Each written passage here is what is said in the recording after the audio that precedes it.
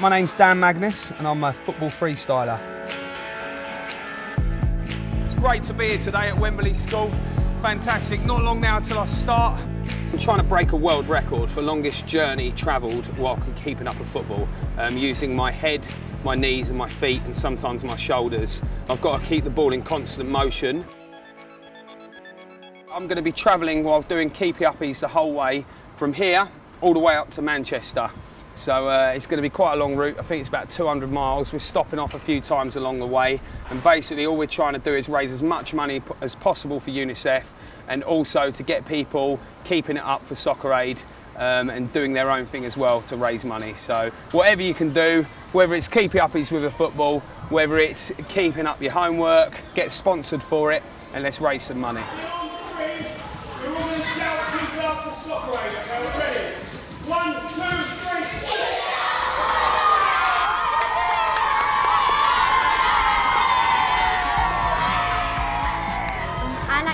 Roller the most, and I can't really do it, but it's like it goes around, like goes around, and then he has his hands like this. Fantastic, now brilliant. We have our like largest audience from China. Can you say hi to them? Hello, people in China. I'm Dan Magness, raising money for UNICEF. Walking today from Wembley Stadium all the way up to Manchester. 20 to 30 miles a day, um, doing this the whole way. Dum, dum, if I'm doing this, maybe 10 Yeah, give it a go. Try. Okay, try. Ah! I've got my laces tucked in, socks pulled up. I'm ready to go. So three, two, one, and we're off. Go on, Dan. I've done it. oh, I dropped it. The main challenge of today is to get out of London. Um, we're going up to St Albans today, um, so I've got to find my way there first. Then I'm going to sleep overnight, and then tomorrow we're going to make our way up to Milton Keynes. What does it say on here? This is Summer Street, look. So Right, we've come here, so I'm assuming that should be Kingsbury Road, but it's not. it's Tudor Gardens, but we're on right. What's that So road I think there? we need to go down there.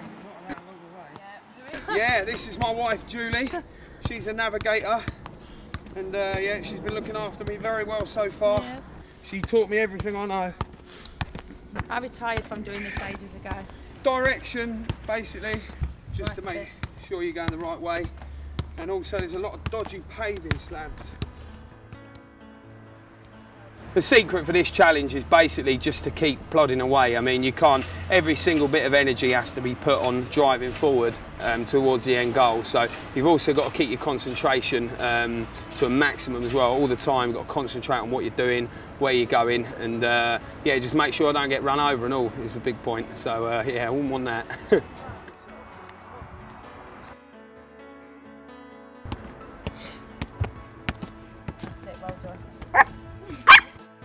Legs feel like flaming beautiful, just right. I can't actually tell if they feel beautiful or if they've just got numb and I can't feel them. You've got to keep going.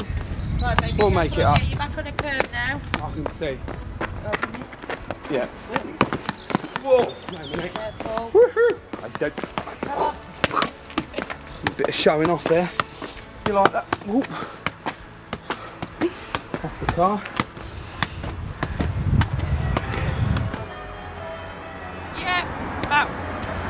100 yards. And then we're there. Keep to right. Right. You've got a lamp post on your left now, keep to your right. Stop it at the crossroads, yeah? Two of us, we work well as a team. We do work well as a team. We have a bit of a laugh, a bit of a joke on the way, a bit of a sing-song.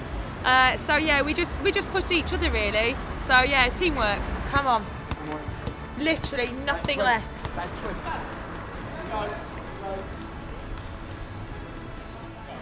So we just arrived here in St Albans. It's been a brilliant day. We've had some uh, hiccups along the way, but we got there in the end. We've all plugged together and we've managed to get there. So um, absolutely over the moon. Fantastic. Great day. Can't wait for tomorrow.